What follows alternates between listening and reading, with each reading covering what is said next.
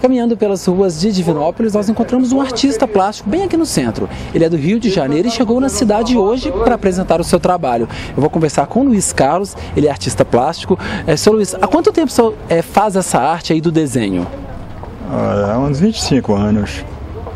25. E hoje, é, estou vendo que o senhor está pintando uma foto, essa moça é de Divinópolis, né? Exato, eu peguei aqui na cidade. O senhor viaja o Brasil todo. Como que é essa, essa rotina aí? Pô, o maior barato, cara. A gente, é, além de conhecer povo diferente, né? Assim, povo que eu falo assim, diferente do local da, da, da cidade da gente, entendeu? E o senhor pinta é, fotos e também paisagens. Tem um preferencial, um que gosta mais? Ó, eu tenho predominado muito na, na anatomia, que é a figura humana, entendeu?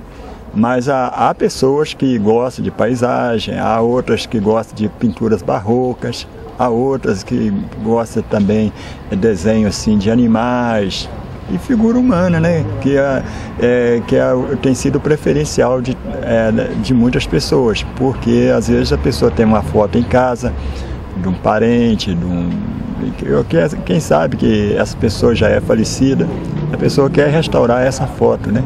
E aí eles têm me procurado muito com essa finalidade.